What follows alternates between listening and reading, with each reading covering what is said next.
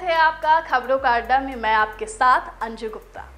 हम तुम एक कमरे में बंद हो और चाबी खो जाए, सोचो कभी ऐसा हो तो क्या हो? इसी तरह हम तुम एक जंगल में हो और सामने से शेर आ जाए, सोचो कभी ऐसा हो तो क्या हो? और सोचो कभी ऐसा हो कि हम तुम एक बस में हो और सामने से नदी आ जाए तो क्या हो? आप ज़रूर बस से उतरने के बारे में सोच रहे होंगे, पर मैं कहूँ कि ऐसा करने की नौबत ही ना आए तो?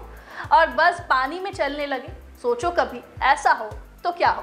खैर, ऐसा हो चुका है नीदरलैंड में। बसें अब सड़कों पर चलने के साथ साथ पानी में भी चलने लगी है।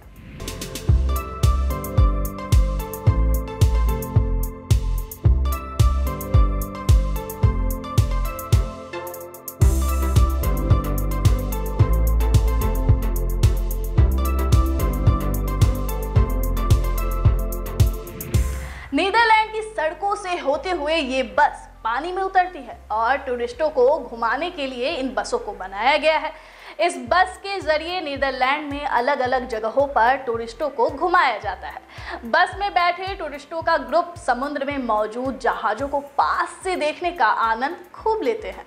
इन बसों की डिज़ाइन खास तरीकों से की जाती है। टूरिस्ट समुद्र से दुनिया को बहुत ही सुरक्षित और आसानी से देख सकते हैं।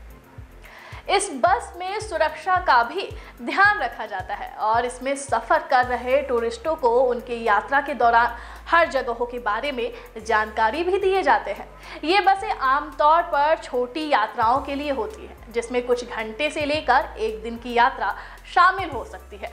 ये यात्रा कुछ खास मौक़ों पर टूरिस्टों के ग्रुप टूर के लिए भी की जा सकती है।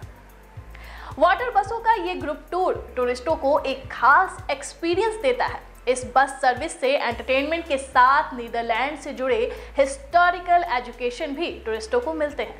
बता दें कि नीदरलैंड के अलावा लंदन में भी इस तरह की बसें पानी पर चलती हैं, जिसे लंदन डक टूर का नाम दिया गया है।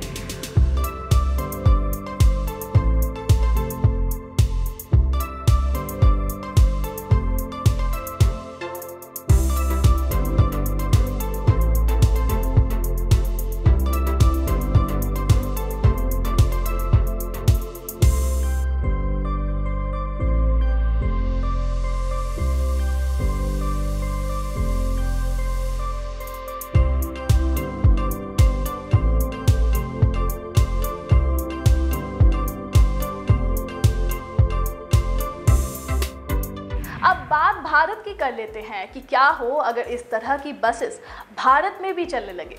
वैसे नीदरलैंड और लंदन जैसी जगहों पर इस तरह की बसों का चलना 2017 से ही शुरू हो चुका है।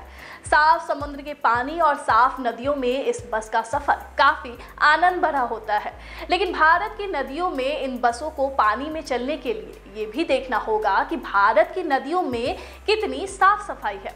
और नदियों, झीलों को साफ़ रखना एक बहुत बड़ी ज़िम्मेदारी है। देखा जाए तो ये ज़िम्मेदारी हमारे और आपके साथ सरकार की भी है। अब ऐसा नहीं है कि विदेशों में बह रही नदियाँ समुद्र गंदे ही नहीं होते। वहाँ भी नदियों और समुद्र का पानी काफ़ी गंदा होता था। पर वहाँ के आम जनता के साथ साथ वहाँ की सरकारें नदियों और समुद्र के पानी को साफ़ रखने के लिए काफ़ी खर्च भी करती है।